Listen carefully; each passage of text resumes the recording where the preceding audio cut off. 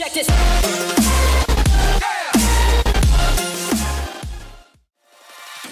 Hey everyone, welcome back to my channel, Cloud Thinking.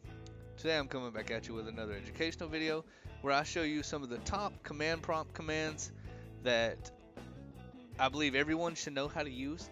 It can really help you troubleshoot any issues with your device's network connectivity, or you can fix basic file system errors uh, using one of these commands.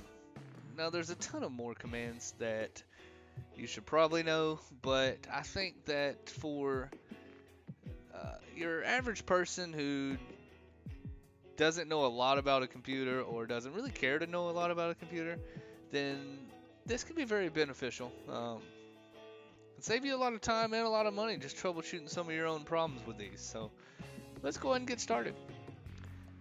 So to open the command prompt or PowerShell, the first thing that you're going to want to do is go down and right click on the Windows icon. As you can see, I'm using Windows 10, so I have Windows PowerShell, and I'm going to run it in the admin role. Now, I will go ahead and throw up an image on the screen that shows you if you right click down there if you're using Windows 7, then you're going to see something slightly different. It's called the command prompt. You can go ahead and run that.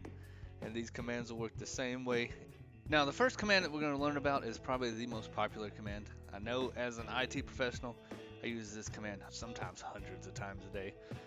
Um, this command is to test basic uh, communication from your device to another device.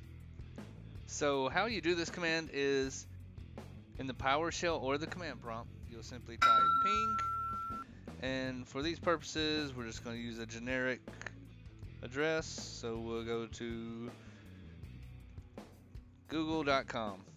You hit enter, and of course it's going to bring back the the IP. Now, if you're using IPv6, then you're going to see it in this format.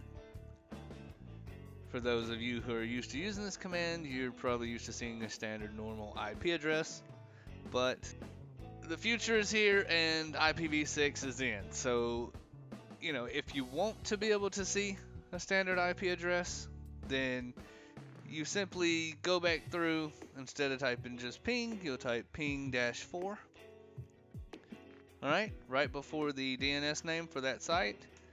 And then of course it returns the standard IP address format. Let's do another test. We will leave the dash 4 and we will go to Yahoo enter and of course it brings back the IP address now another cool command when using ping is if you have the IP address, such as we'll use 98.138.252.38. So, and I'm simply hitting the up arrow to bring back the last command that I used. Let's get rid of the DNS name here because we're going to ping the IP address. Let's get rid of the dash 4 and let's add in dash a, which is going to resolve that IP address to the host name. All right, so I'll type in 98, 138, oops, dot 252 dot 38, and hit enter. And as you can see, it comes back with the true DNS name for Yahoo. Now, if this is within a network, it, it won't have as much information in it. It'll just give you whatever the name of that network device is. But since we are going to something like Yahoo and Google, it's going to give us a lot more information. And just to let you know, I will put all of the commands down in the description box that I discussed today.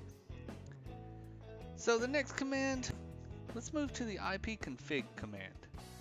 So this command is very useful if you want to see your entire network configuration. That's both for wireless and wired connections. You can also release and renew the IP address if you're having some network issues. This comes in handy if you leave your PC on and you oftentimes, you know, we have to go and pull the power cord on our routers or our modems If you do that, then this does come in handy. If you don't want to have to reboot your machine, then you can run the release command and then the renew command and it'll pull a new IP address for you. So the first one we'll do is ipconfig and the command is slash all for all. Alright, you hit that and of course it brings you a lot of information. As you can see you have all the information for your network connection. Now I'm going to block out some of this information for my own privacy, but you will see all of the information specific to your actual connection, such as your IP address, you'll have your physical addresses, also known as a MAC address, and you know, it'll let you know if DHCP is enabled or if it's getting a static IP. Just basic information for troubleshooting network connections. Now, if you want to release this, you can type in ipconfig slash, you guessed it, release. And it will drop your connection. I'm not connected through hardline, so it did not notice any Ethernet media or local area connection. And my wireless connection released everything. So if you need to get a new IP address, then you can type in ipconfig slash renew. And then it goes through and pulls new IP information for your connection.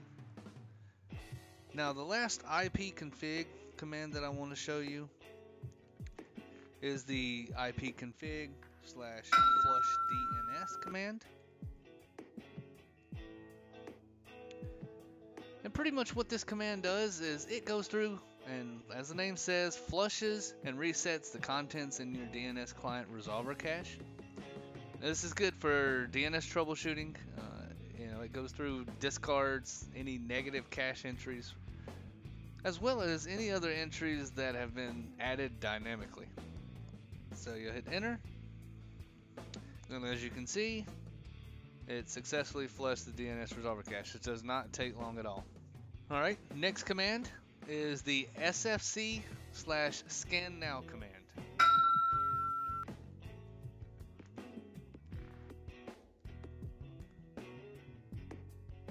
And pretty much what this command does is SFC stands for System File Checker. And this is it's a convenient little command that you know helps you go through and check the integrity of file systems. Uh, if there is a corrupt or missing file, then this uh, command will go through and find them and replace them. And depending on how many files you have on your computer, kind of determines how long it's going to take. So we hit enter, and I will speed through this so that you don't have to wait the entire time. So it says beginning system scan. Here in a minute, it will show you a progress bar, which is convenient. And there's the progress bar. Okay, so the scan successfully completed and it did not find any integrity issues. Yours may find some, but again, it does go ahead and fix them. Alright, one last thing that I do want to show you is that with any command that you enter into the command prompt or the PowerShell, you can always type a question mark after the slash. And what it'll do is it will tell you information about what that scan sorry what that command does as well as any different options that you have for that command. And again this works for any command that you have. So you can see all the options for what you can do with that command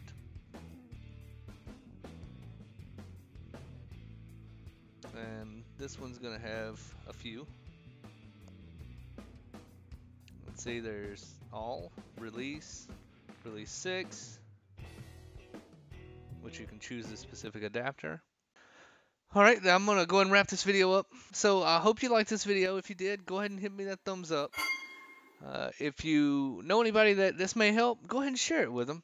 And as always, if you want to stay up to date with my current videos, then go ahead and hit that subscribe button and the notifications. I do post one to two videos a week and believe that you will like them. Alright, Talk to you later.